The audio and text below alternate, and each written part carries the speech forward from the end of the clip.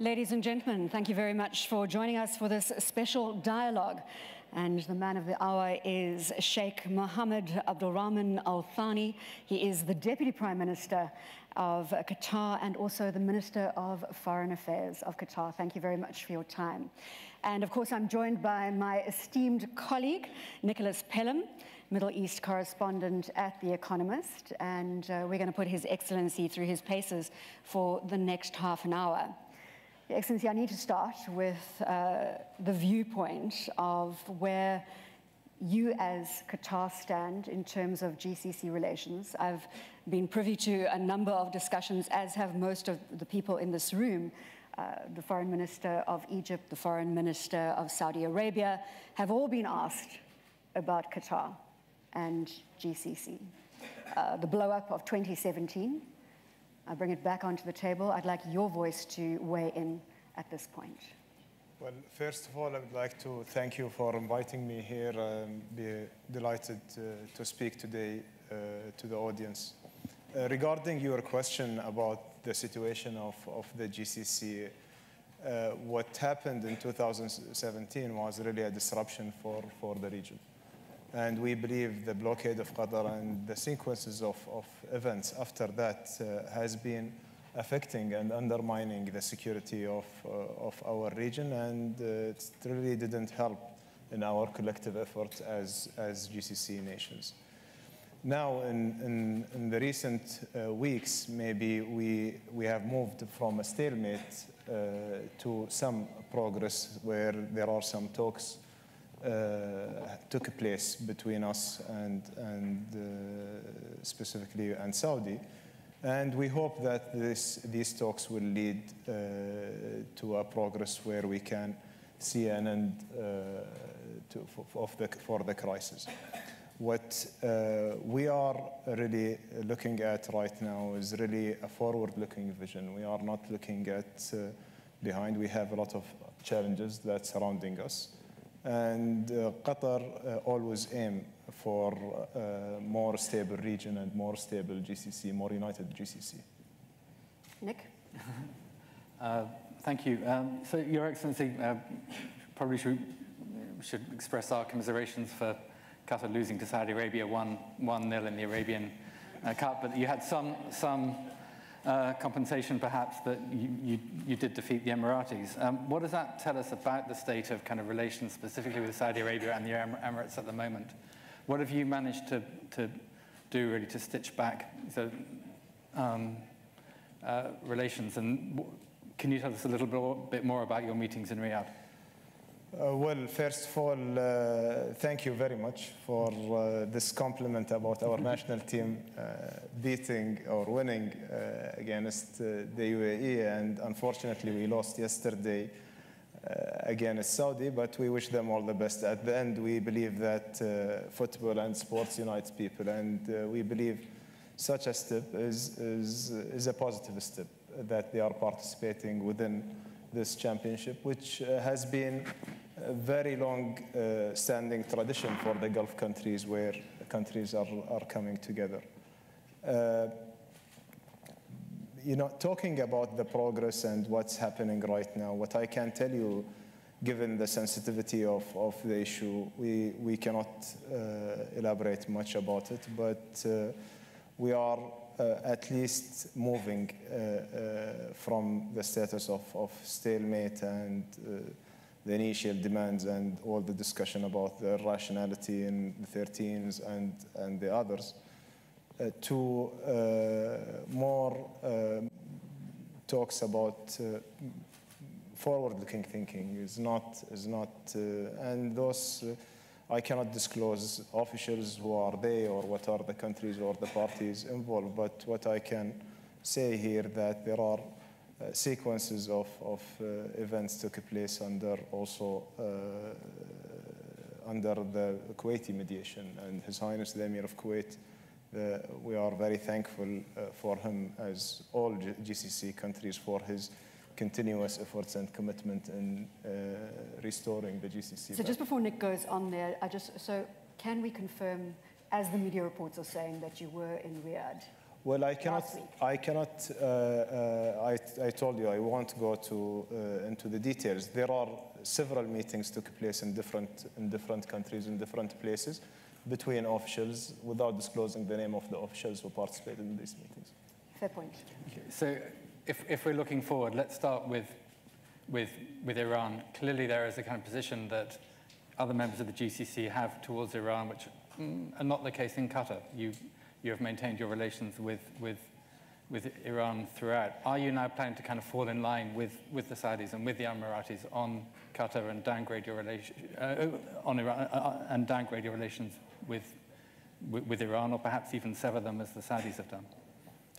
Well, uh, in relation to, to Iran, uh, first of all, we have to acknowledge that Iran is our neighbor, and we look at it differently than uh, maybe countries who are here in the West or, or United States. We will remain having a relation of good neighborhood with them. We are sharing with them an interest, which is our gas field. We are sharing with them an interest of security of our borders and their borders as well. And uh, when uh, the blockade took place, Iran opened up for us and opened the airspace, and uh, the Qatari people are very thankful for uh, this move. Uh, relating this to Qatar policy, uh, would it change if, the, if there is a restoration in the Gulf? We don't see any uh, correlation between the two uh, steps. With uh, Qatar has been always with an independent foreign policy, and this foreign policy will remain independent. And we don't think that uh, this our internal or external affair will be subject for negotiation with anyone. We understand if there are some concerns uh, of our neighbors, we are willing to discuss those concerns and to address them but uh, we are not we are not going to talk about what should we do and what we shouldn't as as a sovereign nation. And I don't think any sovereign country accept uh, this. We believe that in one day the entire region needs to talk to Iran. We need to restore stability in, in our region. And we believe that the dialogue will be uh, the ultimate solution for what's happening and what's uh, the current tension is not in favor of anyone Can, the other issue that has, has that emerged this morning was that of political Islam, where again it's come up repeatedly that Qatar has been, you know, the crucible for, for, for the Brotherhood and for other Islamist movements in, in, in the region. Do you think that you did back the wrong horse? And how is that going to change? There have been reports that the Brotherhood is going to be expelled from Qatar altogether. What is your response? Well, uh, first of all, we disagree with the premise because Qatar has not been supportive for Muslim Brotherhood or political Islam, but this stereotype has been repeated now for, for a long time. We need to uh, uh, look at uh, what Qatar really did with the countries, whether it's with, under political Islam leadership, Muslim Brotherhood leadership, or uh, other leaderships. We have uh, for example, uh, Tunisia, uh, Muslim Brotherhood were in power. Qatar supported Tunisia after the Arab Spring. Uh, Muslim Brotherhood left power. Qatar doubled their support, uh, support to Tunisia after that, and we continue this support because our support goes to the people, not to the political party. At the end of the day, Qatar is a state, not a political party. We will uh, remain supporting countries that uh, important to us, the people of those countries. We are going to support them. In Egypt is the same case. Our support went to, uh, to Egypt when the military council was in power. It continued after they elected their president, which was fair and, and transparent uh, uh, uh, election. We continued our support after what happened and after the overthrow of Morsi, and we didn't stop this. So uh, tying Qatar with a single party or, or with Muslim Brotherhood or with single ideology it's, uh, uh, it's, it's proven that it's, it's, a wrong, uh, it's a wrong accusation, and we will continue uh, our, carrying our policy in support for the people despite their leadership and whom they are uh, electing for their leadership. So, so forgive me, but just one follow-up. It has been reported that the Muslim Brotherhood will, will no longer have a formal presence in, in Doha. Is that, is that the case? Muslim Brotherhood, they don't have a formal, formal presence in Doha, and they never had a formal, a formal presence in Doha. And Will you be uh, pushing them pushing them out? uh, well, what has been reported, what I can tell you, what has been reported that we agree on something and we disagreed on, on, on another thing, it's totally wrong. We are still in, in discussion, and as I told you, the elements of the discussion will remain discreet. I want to chat more broadly about foreign policy and your relationship with the West. And, and this may be a little cheeky, but there is a perception that uh, the wealth factor will draw you many friends from the West. Are you being courted left, right, and center, Your Excellency? Well, uh, definitely Qatar considered one of the wealthy nation. We are blessed with, uh, with natural resources, which we are using for the prosperity of the country and for our people and for the good of, the, of humanity.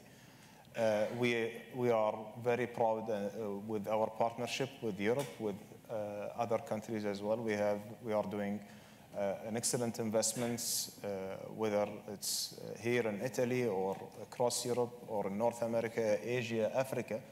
And we have seen that this investment is helping and serving our national agenda to diversify our economy away from the hydrocarbon.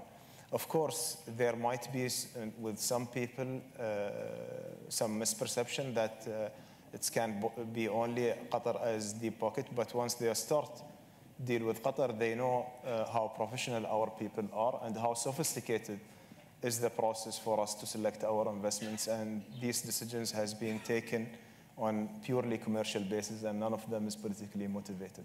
Any comment on relations potentially with France and their investments into North Africa? Uh, Well, uh, we have, we have uh, a lot of investments uh, in France, and we are also in partnership with some of the French company in, in, in different countries, uh, for example, in, in, in Africa. And we are looking forward to expand this partnership with France and with other countries as well to serve uh, and to learn from their experience in the regions where they uh, have, uh, in, whether it's in Asia, in Latin America, or in, in, in Africa. China, can we bring China into the fray? Nick, before you, you continue on your vein, give me a sense of uh, how close you are with the Chinese. There, there are many reports out there that this is a relationship that you are nurturing. Well, uh, our relation with China has been, uh, has been very good and very strong in, uh, in the energy sector, especially. Uh, we are one of their uh, sources of, uh, of supplies for the LNG. We have very strong trade relationship also in the other sectors. There is a lot of Chinese investment in, in Doha, as well as Qatari investments in, in China. And we believe that China is one of the world power where Qatar will always uh, work on building a relation and strong partnership with them. Can we come back a little bit to the to um, uh, to, to the GCC and look at the decisions which were taken um, before this crisis broke over imposition of VAT? Some countries have have imposed um, uh, VAT. Um, Qatar has has not. As part of your realignment back into the fold, will you now be imposing VAT in Qatar? Well, uh, the VAT is really a national-driven decision. It has been uh, taken consideration uh, the GCC factors, uh, but uh, we have uh, we have decided as a government uh, to uh, look at it uh, gradually, and we are starting with uh, some selective items. So there is a selective VAT applied on uh, materials which are affecting the health, for example. So uh, this is a step, and we are continuing our study based on our economic needs. Um, so again, looking at um, uh, s- the the internal the internal economy and sort of uh, um, if you look at your your own foreign workers, when Gulf nationals come to the West, they expect to have certain certain rights. They expect to have residency rights. They expect to at some point be able to apply after one generation or two or maybe less to, for citizenship. That's not a right that you accord your own foreign nationals in, in Qatar. Can you see a point where foreign nationals will be able to apply for a green card or for, for, for, for citizenship? Well, uh, it depends. Each country has different laws and has uh, different constitution. Our constitution in Qatar and the laws in Qatar is for, uh, prohibiting uh, dual uh, citizenship for, for the Qatari people. We have our special characteristic, which we are uh, happy with, and uh, we would love to preserve. There are others I mean, if, if, if you were to have governments in the West that said under no circumstances can foreigners have equal rights to, um, to nationals, can they never apply for, can they never gain citizenship? Others would turn around and call that deeply racist. Well, we didn't call it racist. It's, it's a sovereign, it's a sovereign decision. Whether if the Europeans they are basing their uh, their uh, decisions based on their internal needs and assessment, we have to respect this, and they have to respect our decisions as well. Can I go Bronwyn, good, yes, cap, good yeah. cop now? Or- Yeah, and- yeah, yeah. Right.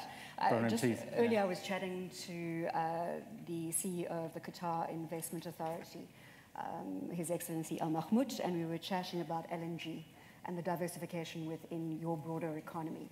You talk to me about uh, the drivers of uh, the economy and this focus on LNG, liquid natural, liquid natural gas? Well, uh, Qatar, Qatar is, is one of the world leaders in, in the LNG supplies, and we have seen uh, this progress, which started almost more than 20 years ago. Uh, Qatar now is supplying 25% of the LNG requirement in the world.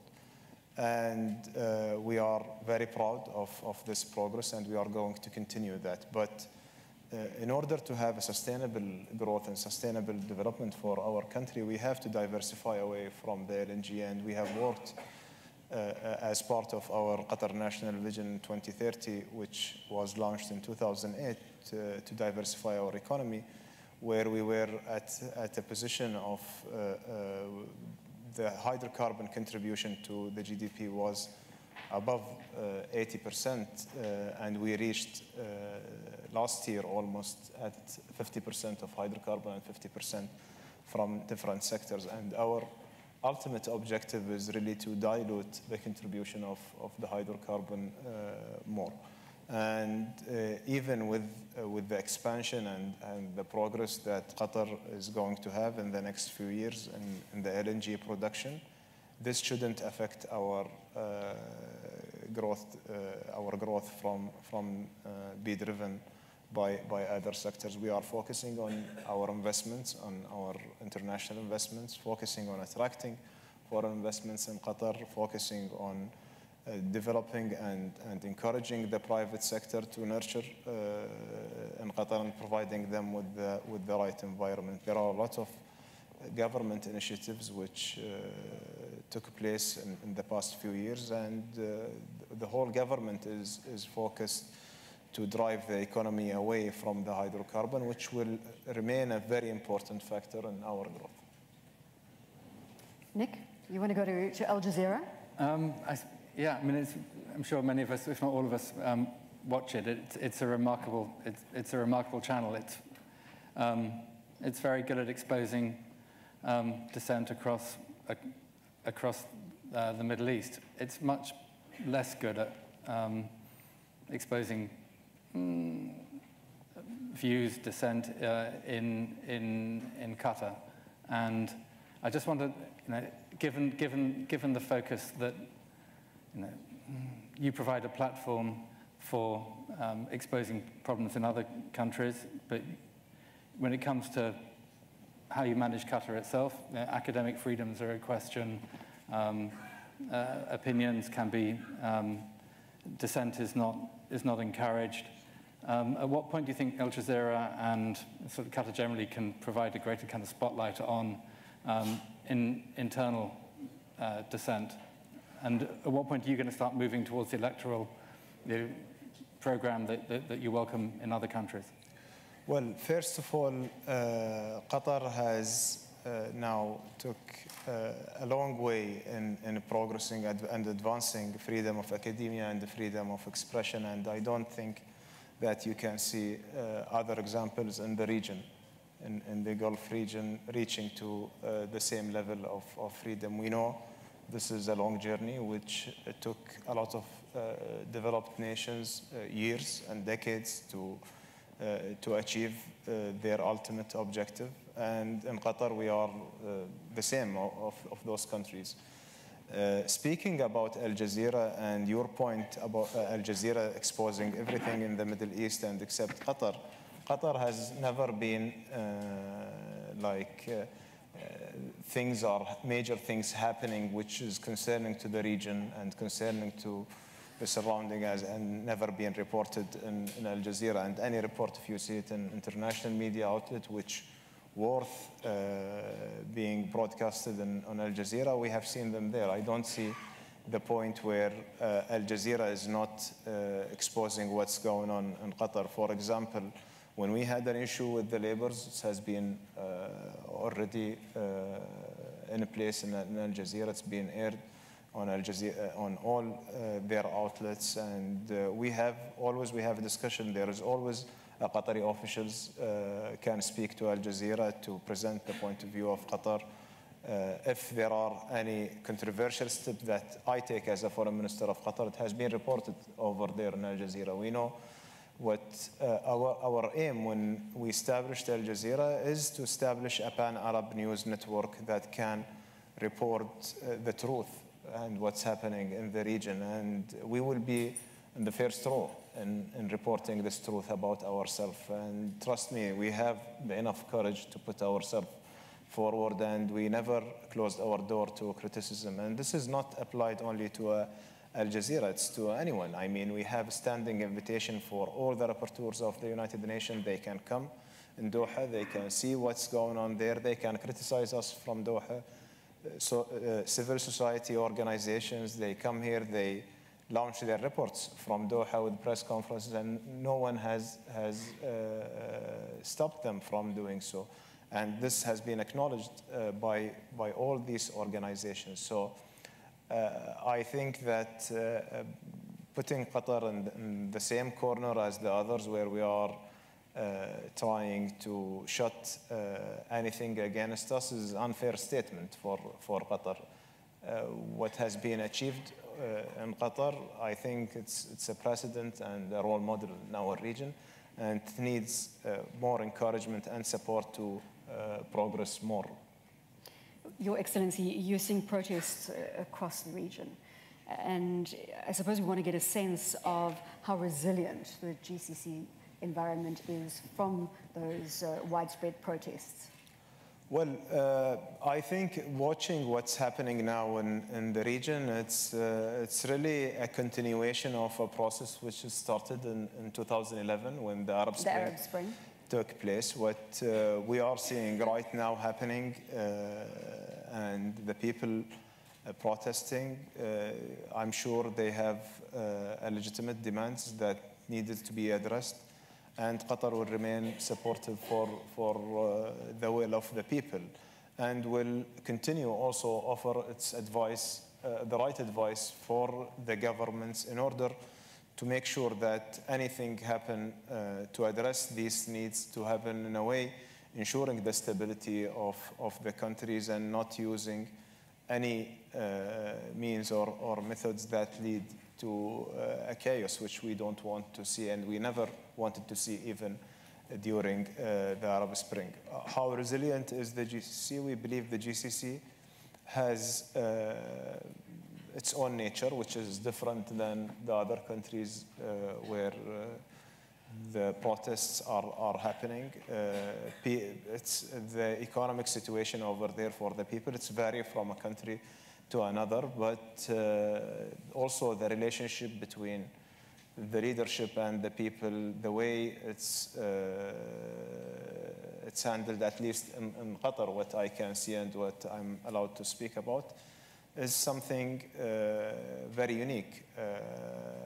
I mean, people has access to the leader. There is uh, a demonstration of uh, the willingness of the leadership to change and to lead change for, uh, for, the, for the interest of, of, the, of, of our people. So uh, from uh, my point of view, in Qatar, I see it uh, something far from happening, God forbid. And uh, I think that also other GCC countries, they have their own means to, to continue uh, addressing the demands and, and, and the desires of, of their people. There is one part of your question, sorry, I, I, I missed it, uh, about the election, which just uh, came to me. It, uh, His Highness has announced that uh, last year that the next council will be the elected council.